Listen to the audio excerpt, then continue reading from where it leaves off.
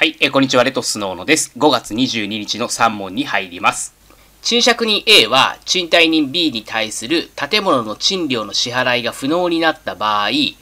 A は B に対する敷金返還請求権を自動債権として、弁済期が到来した賃料債務と対等額で相殺することができる。丸か×かという問題です。考えたい方は動画を一旦ストップしていただいて、この動画の下の概要欄から問題文ご確認ください。で、え答えは、え賃借人 A は、え敷金返還請求権を自動債権として、え相殺することはできませんので、誤りですね。この敷金返還請求権っていうのは、賃借物を明け渡した後に発生する権利なんですね。そのため、明け渡しがされていない以上、敷金返還請求権を持って、総裁を主張することはできません。よって誤りだということですね。えつなげて覚えることで試験であれどっちだっけ？と迷わなくなります。短期講座の受講者様は、受講者専用のメールマガで、え動画をお送りさせていただきますので、そちらで学習しましょう。で、問いにですね、後県に本社、おつ県に支社を有する宅建業者 A が、本社と支社ともに宅建業を営んでいる場合、え従業者名簿については、本社、支社、それぞれに備え付けなければならない、丸か×かという問題です。これ答えは丸です。事務所ごとに業務に関する従業者名簿を備え付けなければなりません。つまり、本社にも、えー、そこの本社で働いている従業者の名簿を置いて、支社にもその支社で働いている従業者の名簿を置くと。一括して本社に備え付けておくっていうのは宅建業法違反になりますので注意しましょう。えあとですね、事務所に備えるものって何がありましたでしょうか？覚えていますでしょうか？標識、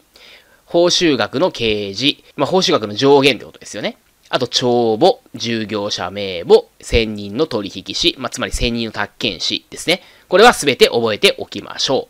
う。で、問い3です。都道府県が都市計画区域を定める場合、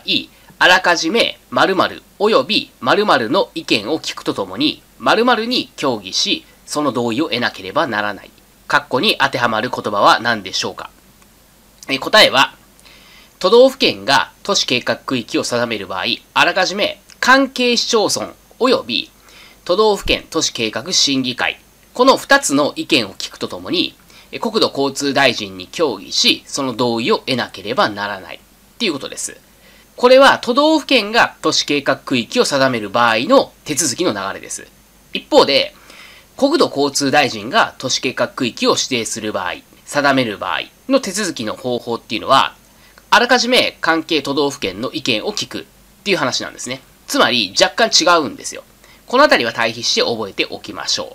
う。この点については注意事項があります。で、注意事項については短期講座でお伝えする流れになりますので、短期講座の受講者様は受講者専用のメルマガから内容をご確認ください。え勘違いしている人が多い部分なので、きちんと押さえておきましょう。で、そもそも短期講座ってどういったものなんですかっていうご質問をよく受けます。なので、まあ、今回ね、あの動画にさせていただきました。短期集中実力アップ講座、短期講座の特徴なんですけれども、問題集だけで基礎から理解学習まで行える。これが短期講座の特徴なんですね。いわゆる短期間で実力を上げるための講座が短期講座なんですけども、その短期間でじゃあ合格力をつけるための元となっているのは何なのかって言ったら、この問題集なんですよ、実を言うと。これがですね、他の予備校だったりとか通信講座とは違う内容なんですよ。どういうことかというと、問題集の中に基礎的な内容から理解すべき内容まで含まれているっていう点なんですね。多くの教材っていうのが、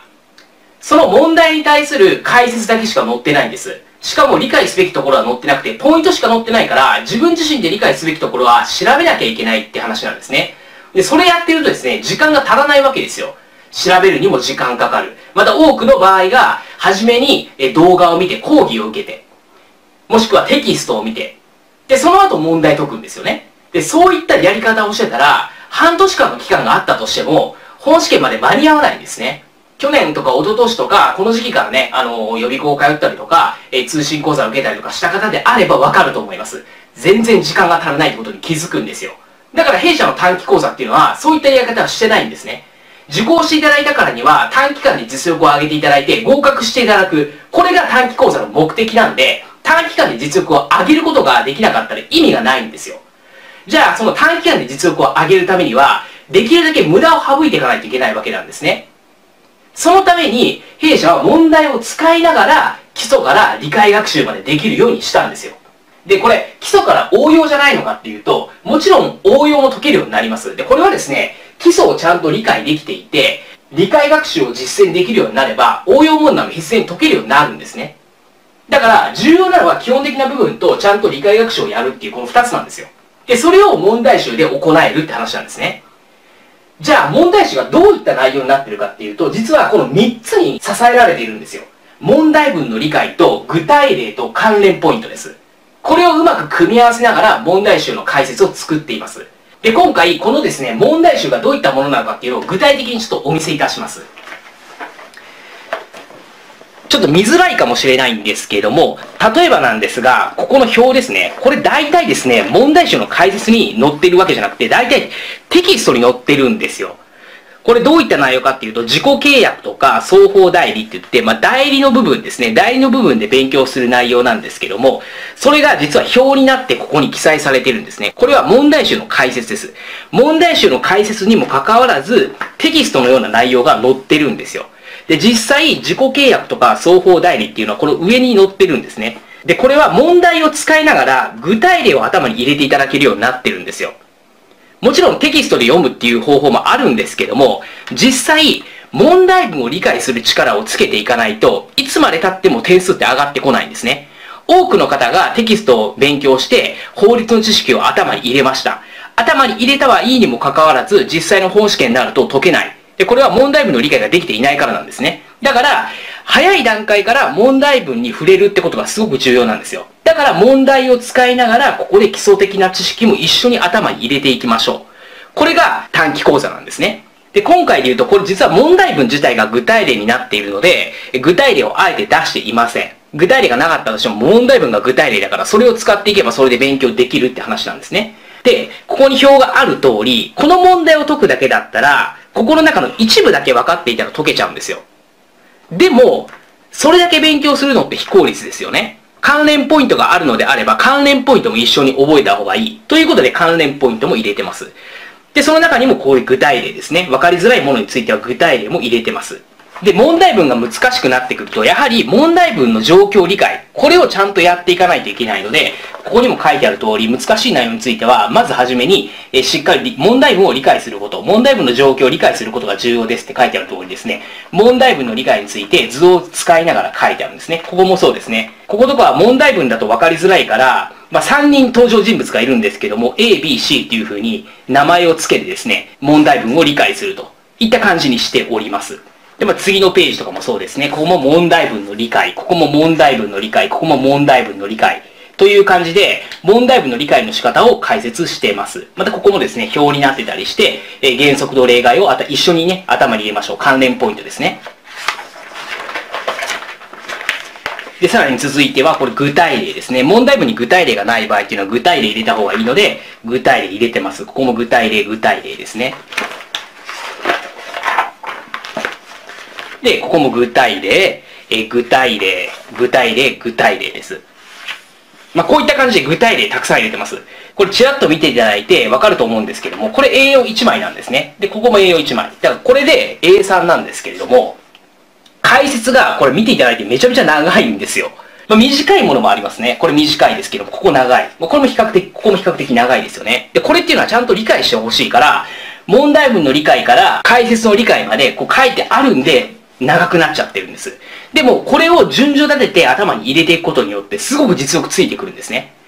単にポイントだけ頭に入れたとしても、一向に点数って伸びてこないんですよ。実力つかないんですね。ちゃんと使える知識にしていかないといけないから、このように詳しい解説にしております。なので、この問題集の解説を使うだけでも相当実力って上がるんですよ。なので、受講していただいてやることっていうのはすごく簡単で、問題文とこの解説っていうものをこう読み進めていくっていう流れなんですね。初めは別に解かなくてもいいんですよ。